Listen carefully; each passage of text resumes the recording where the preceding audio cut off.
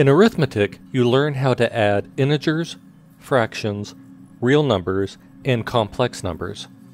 This trend continues because you can also add polynomials. To start, let's add the polynomials 2x squared plus 3x plus 4 and x squared plus 8x plus 1. I'll put parentheses around the two polynomials so it's clear that this is the first polynomial and this is the second polynomial. The main strategy when adding polynomials is to combine like terms. We'll show you several ways, and you can choose which method you prefer. There are six terms, three in the first polynomial and three in the second.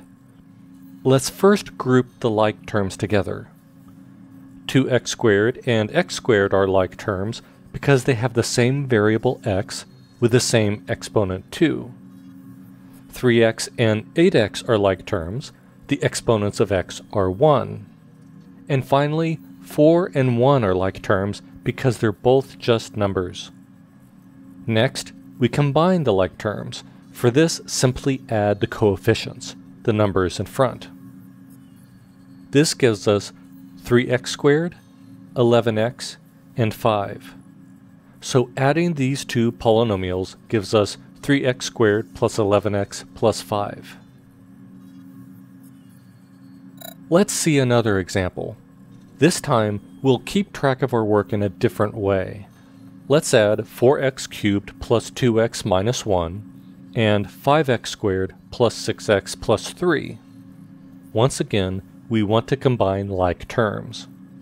This time, we'll write one polynomial above the other and line up like terms. Let's write the first polynomial. For x cubed, there's no x squared term, so we'll leave a gap. Then plus 2x and minus 1. On the next row, we write the next polynomial. 5x squared goes underneath the gap because there's no like term in the top polynomial. The 6x goes below the 2x, and the plus 3 goes below the minus 1. Now, like before, we combine like terms. There's only one term of degree 3, so the first term in the sum is 4x cubed.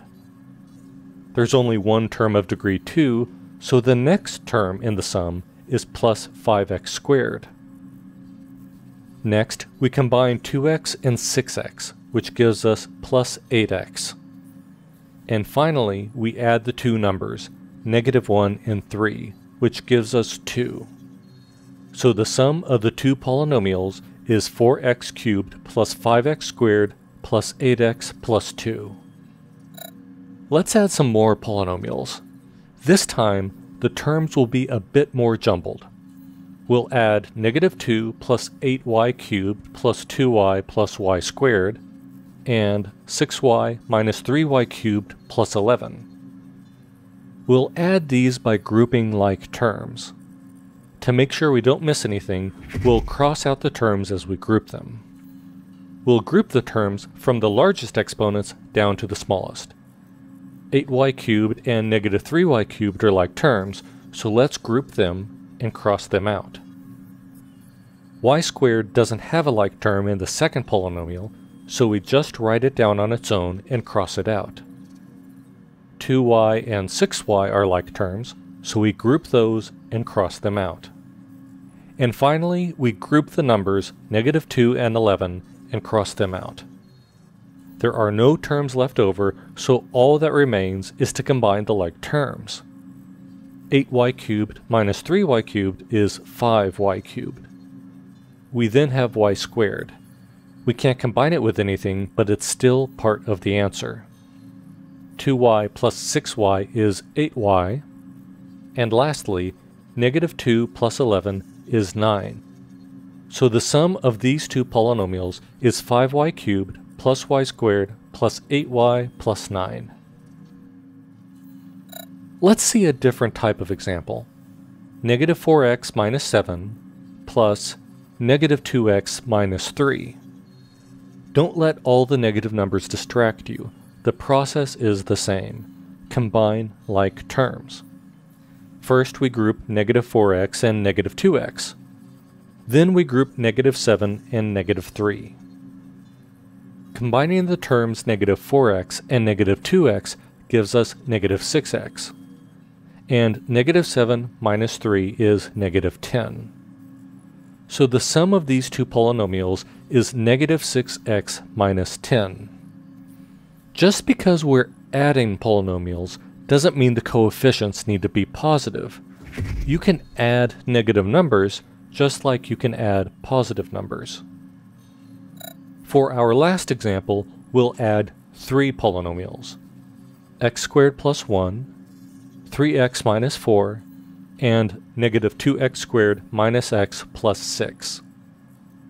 Let's group the x squared terms, the x terms, and the numbers.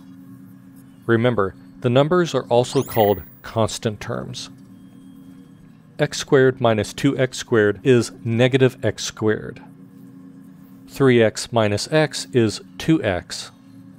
And 1 minus 4 plus 6 is 3. So after combining like terms, we get the sum of these three polynomials. Negative x squared plus 2x plus 3. This video was created with support from the Socratica Foundation. To learn more about our educational nonprofit, visit us at socratica.org.